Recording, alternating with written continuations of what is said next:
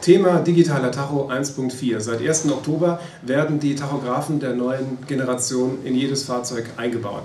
Neben mir sitzt Bernd Schlumberger, Leiter Fuhrpark und Transportmanagement bei Teva Ratioform.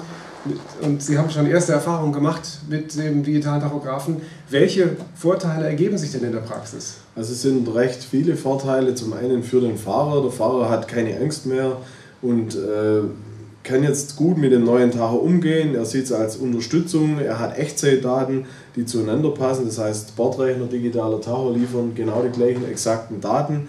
Die Aufzeichnung ist eher vorteilhaft für den Fahrer, für die Fahrzeit und auch für den Unternehmen, für den Unternehmer. Die ganze äh, Luft äh, wird rausgenommen in dem Prozess. Das heißt, die Dispo-Prozesse gehen wieder auf. Die Spannung zwischen Disposition und Fahrer äh, sind, gehen null.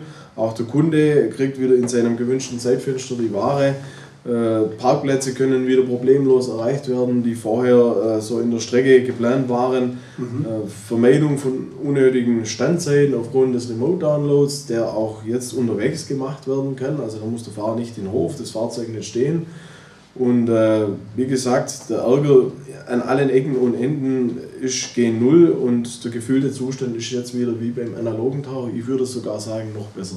Sagen Sie aus der Erfahrung, die Sie jetzt seit Oktober absolut, mit den neuen absolut. Geräten haben. Genau. Und man spricht von 20 bis 40 Minuten, die man pro Tag einspart. Genau, je nach Einsatz. Äh, Im Fernverkehr Minimum 20 Minuten Einsparung, natürlich abhängig von den Stops. Je mehr Stops, desto mhm. mehr Einsparung. Und im Nahverkehr, Verteilerverkehr sind es im Worst Case 40 Minuten. Was empfehlen Sie denn, wie soll man in der Praxis vorgehen?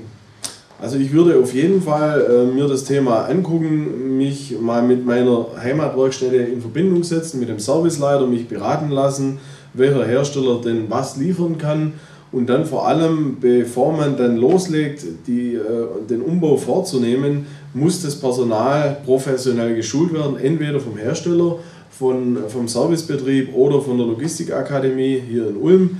Äh, damit die Fahrer wirklich auch vertraut sind mit den Inhalten, mit der Bedienung etc. Dann die Schulungen einsteuern und dann äh, den Umbau koordinieren mit dem äh, Servicebetrieb. Wenn man sich dann für, ein, für einen Hersteller, für ein Fabrikat entschieden hat, das Ganze geht sehr schnell, das heißt innerhalb von drei bis maximal vier Stunden äh, ist das Fahrzeug äh, wieder aus der Werkstatt raus. Das heißt, äh, alter Tacho raus, Download, Einbau, mhm. Kalibrierung mhm. und dann geht's los. Aber wie gesagt, ganz wichtig, das Personal inklusive Disposition muss vorher mhm. detailliert und professionell geschult werden. Und Ihr Fazit, lohnt sich der Umbau? Der Umbau lohnt sich allemal. Ich würde jedem Fuhrunternehmer, Spediteur empfehlen, sofort umzubauen, denn 700 Euro amortisieren sich im Worst Case etwa in einem Monat.